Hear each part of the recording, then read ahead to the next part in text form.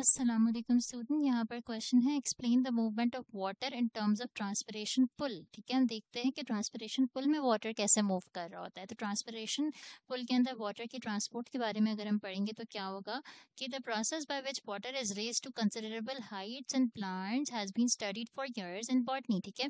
यानी बॉटनी में इस बात पे बहुत ज़्यादा स्टडी की गई है कि वाटर प्लांट की इतनी बड़ी हाइट तक कैसे पहुँच जाता है। भाई प्लांट तो जो है वो रूट्स एब्जॉर्ब प्लांट की रूट्स जो है वो वाटर को एब्जॉर्ब कर रही होती हैं सॉइल से, ठीक है? यहाँ से वाटर एब्जॉर्ब हो रहा होता है। तो इतना बड़ा ट्री आप यहाँ पे डायग्राम में देख सकते हो, इस तक प्लांट कैसे पहुँच जाता है? सॉरी इस तक वाटर कैसे पहुँच जाता है? क्या इसके पीछे थ्योरी है या कोई प्रोसेस है? तो result of this research is cohesion tension theory तो इस स्टडी के बाद ये रिज़ल्ट निकाला गया कि कोहेशन टेंशन थ्योरी होती है वाटर मॉलिक्यूल्स के दरमियान, जिसके ज़रिए वाटर इतनी आसानी से ऊपर की तरफ़ आ जाता है और ऊपर उसको ऑब्वियसली जाइलम वेसल्स लेकर आती हैं, ठीक है? Xylem vessels, ठीक है, जो कि यहाँ पे प्रेजेंट होती हैं। According to this theory the force which carries water and dissolve material upward to the xylem is transpiration pull इस थ्योरी के मुताबिक कोहेशन टेंशन थ्योरी के मुताबिक, जो फोर्स है, जो वाटर और डिजोल्व मिनरल्स या मटेरियल्स को ऊपर लेकर आ रही होती है जाइलम के ज़रिए वो ट्रांसपिरेशन पुल है। ठीक है, वो फोर्स जो है, वो ट्रांसपिरेशन पुल है। Transpiration creates a pressure difference that pulls water and salt up from roots ठीक है? अब जहाँ पे ट्रांसपिरेशन हो रही होती है लीव्स के ज़रिए बाहर जा रहा होता है पानी वाटर वेपर्स के थ्रू ठीक है? एवेपोरेशन हो रही होती है वाटर वेपर्स की और पानी जो है, वो एक्सेस पानी बाहर चला जाता है। और इस ट्रांसपिरेशन की वजह से लीव्स के अंदर पानी की फिर दोबारा कमी हो जाती है तो नीचे से और पानी ऊपर आता है, ठीक है? ये इसके पीछे पूरा फिनोमिना होता है, ठीक है? और पानी के साथ सॉल्ट्स भी आते हैं रूट्स के ज़रिए। अब यहाँ पे आप देख सकते हो कि when a leaf transpires loses water the water concentration of its mesophyll cells drops यानी लीफ के यहाँ पे आप लीफ के मीजोफिल सेल्स देख सकते हो, यहाँ से ट्रांसपरेशन होती है, ठीक है? और जैसे ही ट्रांसपरेशन होती है वाटर निकल जाता है तो फिर लीफ की मीजोफिल सेल्स में वाटर की कॉन्सेंट्रेशन क्या हो जाती है? कम हो जाती है। ठीक है। This drop causes water to move by osmosis from the xylem to leaf into the mesophyll cells अब क्या होगा? वाटर की कॉन्सेंट्रेशन मीजोफिल सेल्स में कम हो गई तो जाइलम वेसल्स मजीद वाटर ऊपर की साइड पे भेजेंगे मीजोफिल सेल्स में और वाटर भेजेंगे ताकि इस कॉन्सेंट्रेशन ग्रेडियंट को ख़त्म कर सकें, ठीक है?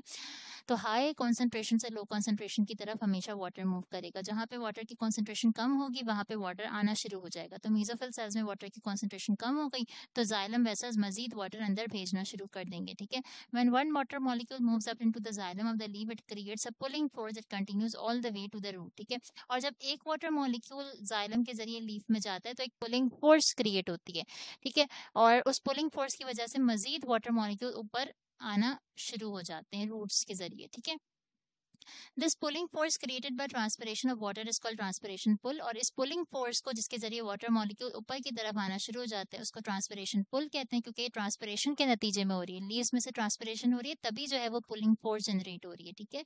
इस वजह से ट्रांसपिरेशन पुल कहा जा रहा है। It also causes water to move transversely from root epidermis to cortex and pericycle अच्छा अब ऐसा नहीं है कि सिर्फ़ लॉन्गिट्यूडनली मूव करता है वाटर ऊपर की साइड पे, बल्कि ट्रांसफरी ट्रांसफर्सली इस तरह भी मूव कर रहा होता है, ऐसे भी मूव कर रहा होता है, ठीक है? यानी लीव का अगर हम ट्रांसफ़र सेक्शन निकालें तो एपिडर्मिस से लेके कॉर्टेक्स और पेरीसाइकिल तक भी वाटर जो है वो जा रहा होता है, ठीक है? फॉलोइंग यानी रूट्स में इस तरह से भी मूव कर रहा होता है वाटर ठीक है? ऊपर भी जा रहा होता है और इस तरह भी मूव कर रहा होता है। Following are the reason for the creation of transpiration pull तो स्टूडेंट्स यहाँ पर आप देख सकते हो डायग्राम में क्रॉस सेक्शन दिखाया हुआ है आपको एक रूट का, ठीक है? इसमें एपिडर्मिस के आउटर लेयर है, फिर आपके पास यहाँ पे कॉर्टेक्स के सेल्स आ जाते हैं और फिर अंदर की साइड पे पेरीसाइकिल के सेल्स हैं, जिसमें जाइलम फ्लोयम वगैरह भी है, ठीक है? तो पहले एपिडर्मिस में पानी आएगा, फिर पानी कॉर्टेक्स की तरफ़ मूव करेगा, अंदर फिर अंदर पेरीसाइकिल की तरफ़ चला जाएगा, ठीक है?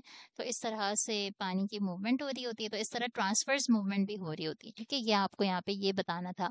अच्छा और कुछ रीजन है ट्रांसपरेशन पुल के, वो क्या रीजन है water is held in a tube xylem that has small diameter ठीक है?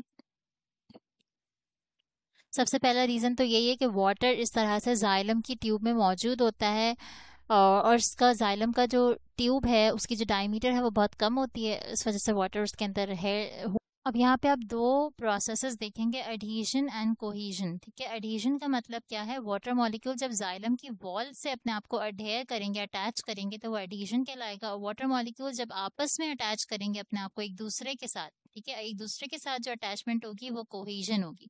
और जब वॉल्स के साथ जो अटैचमेंट होगी, वो एडिजन होगी, ठीक है? तो एडिजन और कोहेजन की वजह से वाटर मॉलिक्यूल जाइलम के ज़रिए ऊपर की तरफ़ आसानी से मूव कर सकते हैं। ट्रांसपरेशन पुल के ये रीजन हैं ये सारे, ठीक है? इस वजह से ट्रांसपरेशन पुल बहुत आसानी से हो जाती है।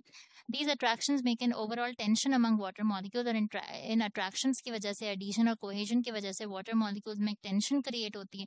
और इस टेंशन की वजह से कॉलम्स बनते हैं वाटर के। और ये कॉलम्स जो है, वो रूट से शूट की तरफ़ मूव करते हैं, यानी रूट से ऊपर की तरफ़ स्टेम की तरफ़ जाते हैं शूट की तरफ़ जाते हैं and the water content of the soil enters in these column और जितना भी वाटर कॉन्टेंट है, वो सॉइल का, वो कॉलम जाइलम वेसल्स के जो